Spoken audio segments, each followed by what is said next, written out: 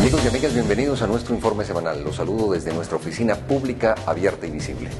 Vamos a tocar tres temas que nos interesan en esta semana.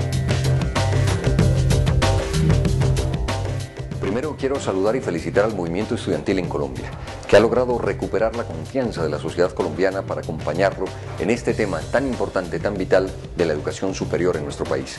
Siento y creo además que lo que ha surgido es una verdadera oposición al gobierno de Juan Manuel Santos que de lejos va a trascender el único tema de la educación superior en nuestro país. Siento que ese movimiento estudiantil se ha ganado el respeto, la confianza de la sociedad y uno de los elementos fundantes y fundamentales fue la no violencia.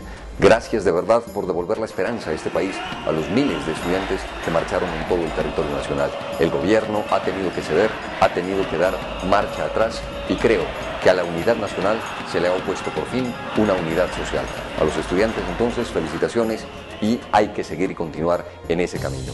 Nosotros seguiremos con un segundo punto que quiero destacar y es que hay que mantener la insistencia de la renuncia de la ministra de Educación, que nos acompañen firmando. En nuestra página está el link para pedir la renuncia de la ministra de Educación. No es un tema personal contra ella, es un tema social, colectivo, general, que nos compete a todos y a todas. Creemos que si la ministra da un paso al lado, el país va a dar un paso hacia adelante. Necesitamos alguien que genere confianzas, que construya consensos, no que imponga argumentos que por demás no son ciertos. Acompáñenos a seguir firmando de manera virtual para pedir la renuncia de la ministra de Educación.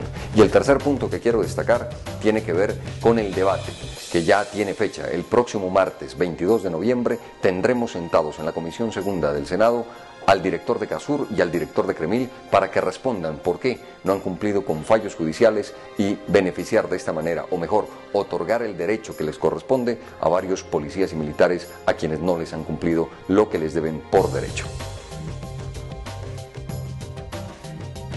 Amigos y amigas, gracias por seguirnos en estos informes semanales. Nosotros cumpliremos nuestro deber de contarles lo que estamos haciendo semana a semana desde el espacio del Congreso de la República y en esta ocasión desde nuestra oficina pública abierta y visible. Contarles que remataremos esta semana, el día jueves en Armenia y el día viernes en la ciudad de Ibagué. Estaremos allí muy pendientes, sobre todo de policías y militares retirados que nos han ofrecido estas invitaciones que con gusto aceptamos y los acompañaremos esos días en esas ciudades. El jueves en Armenia, el en Ibagué. Y el domingo estaremos en la ciudad de Cartagena dando una charla que tiene que ver con todo este tema y el ambiente de la esperanza para nuestro país. Creemos que todavía hay esperanza en Colombia, por supuesto, y gracias a quienes nos han invitado a esta bonita ciudad a hablar de este tema. Finalmente, no olviden seguirnos a través de nuestras redes sociales y nuestra página en internet www.camiloromero.co, en Facebook, facebook.com slash senador Camilo Romero y en Twitter, arroba Camilo Romero. Este y todos los videos en nuestra página de YouTube, Camilo Romero TV. Nos vemos la próxima semana. Chao.